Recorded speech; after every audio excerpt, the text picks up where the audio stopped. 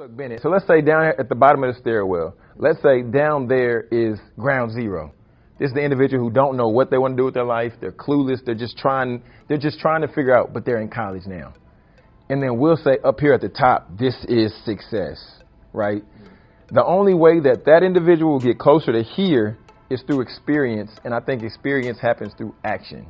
And I say that because like I said in my presentation earlier, I was talking about I was talking about I had 14 jobs, 15 jobs, 16 jobs. I was doing, I'm not encouraging nobody to go, you know, try out people's jobs and say, oh, no, nah, this ain't for me. Oh, no, I don't want to do that.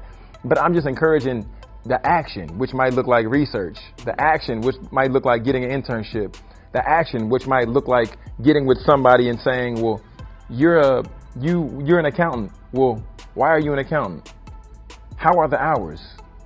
What type of strain is put on your family? And if you begin to realize that some of this stuff you're connecting with, you're like, well, wait a minute, I want to be a family man, but at the same time, uh, I don't like math, then accountant might not be for you. But then you can mark off the list, okay, that's one thing I know I don't like. And then with an internship, you go into internships, and the great thing about internships is they always seek to add value to the intern, mm-hmm. right? So that they bring them in, they're like, okay, well, can you do this for us, do this? and then you gain more skills, which can make you more marketable somewhere else. That's another step. It's like, okay, well, I got this experience. It's like, this is something I think I might like. Then that goes on this list over here for the maybes. But then over here with the no's, we're just marking those off. No, no, I'm not gonna do this. I'm not gonna. Yeah, you say you did. I tried nursing. Oh yeah, yeah. See, you say you tried nursing. You're like, nah, that's that's not the move. But then you begin to do that, and then you begin to realize, okay, this is something I like doing. This is something I'm passionate about. This is something I'm gifted in. A lot of people speak this into my life. A lot of people say that they've seen that I have a certain expertise here. That's another step, another step, another step. And then as you go through the action, then you begin to realize that I can be successful doing what I desire to do. And now you're at the top of the stairwell.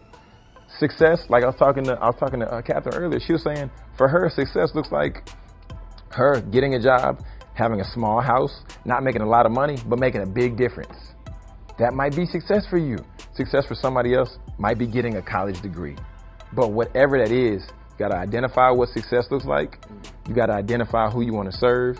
And then even on top of that, then what are you passionate about? If you didn't make no money for this, what would you be doing? Like I'm here, like I would speak. Of course, I would I love to get paid for speaking. Yeah. But if I didn't get paid and there was opportunity to empower some people or inspire some people because I mentor, I mentor like once or twice throughout the week with some young men in the juvenile justice department. I'm not getting paid for that. I don't want to get paid for that, but I know that I'm helping them. So it's identifying those things, man. Just it really comes down to taking some time and just reflect. Just asking yourself, okay, well, what what area maybe do I want to try pursuing? I always thought about all these things about what I wanted to do, what kind of life I wanted to live, and I'm really thankful for being here because he actually shed some light on those questions I always ask myself. Like, it's different to just think about it, uh, but then it's another thing to actually go out and do it. And I feel like I'm one step closer to at least going out and trying more things. And I'm very thankful that he's given me this experience to go and do those things.